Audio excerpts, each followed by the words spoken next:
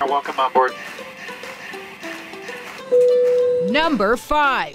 Planes are really heavy. A fully loaded A380 can weigh 1,268,000 pounds on takeoff. That's more than 462 Honda Civics.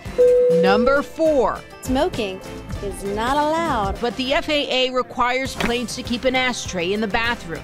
The reason? So someone breaking the rules doesn't drop the butt in a trash can and start a fire.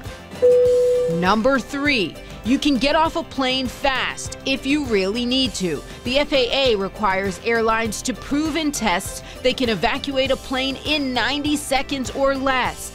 Number two, you don't really need all those engines. Modern twin engine jets can keep flying even if one of their engines stops working. If all engines stop, you can glide for a relatively long time.